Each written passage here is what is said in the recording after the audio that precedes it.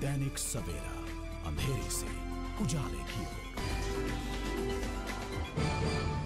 लुधियाना शहर में बह रहे बुड्ढा दरिया की सफ़ाई के लिए दैनिक सवेरा द्वारा शुरू किए गए सबदा अभियान को सहयोग देते हुए हेल्पिंग हैंड्स के सदस्यों द्वारा निगम हाउस की बैठक में पहुँचने वाले पार्षदों तथा मेयर को गुलाब के फूल भेंट करते हुए बुड्ढा दरिया की सफ़ाई की तरफ़ ध्यान दिलाने का प्रयास किया गया।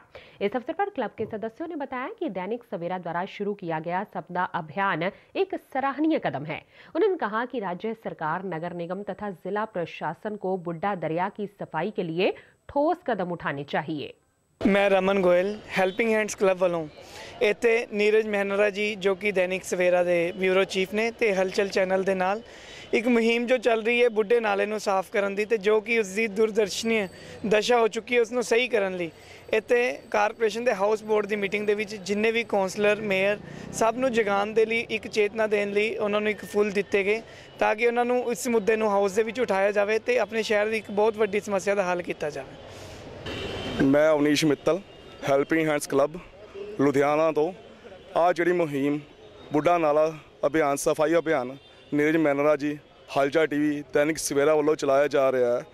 ਹਾਊਸ ਮੀਟਿੰਗ ਜਿਹੜੀ ਕਿ ਨਗਰ ਨਿਗਮ ਲੁਧਿਆਣਾ 'ਚ ਹੋ ਰਹੀ ਹੈ, ਉਸ 'ਚ ਹਰ ਮੇਅਰ, ਕੌਂਸਲਰ ਤੇ ਉੱਚ ਅਧਿਕਾਰੀਆਂ ਨੂੰ ਜਗਾਉਣ ਵਾਸਤੇ ਆ ਇੱਕ ਛੋਟਾ ਜਿਹਾ ਉਪਰਾਲਾ ਕੀਤਾ ਗਿਆ ਹੈ।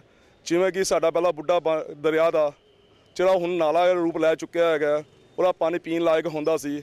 ਅਸੀਂ ਉਹਨਾਂ ਨੂੰ ਸਾਰਿਆਂ ਨੂੰ ਬੇਨਤੀ ਕਰਦੇ ਹਾਂ ਆਹ ਨੂੰ ਗੰਦੇ ਪਾਣੀ ਨੂੰ ਛੱਡ ਕੇ ਦੁਬਾਰਾ ਪੀਣ ਲਾਇਕ ਬਣਾਇਆ ਜਾਵੇ।